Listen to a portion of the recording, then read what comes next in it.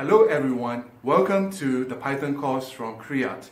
My name is Thomas and I'm a researcher in data science and cybersecurity. In this course, we'll be looking at using Python for various real-world applications, ranging from data science to machine learning, as well as in deep learning. We will also be looking at using Python for cybersecurity threat detection and analysis. So jump right on it and hope to see you all soon.